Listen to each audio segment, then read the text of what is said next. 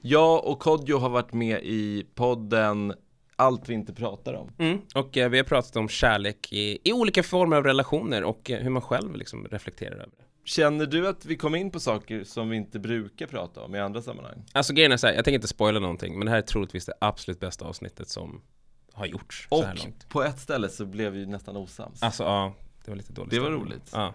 Men ni får lyssna helt enkelt. Eh, det, det. det är känslor vi snackar om och eh, upplever och uttrycker.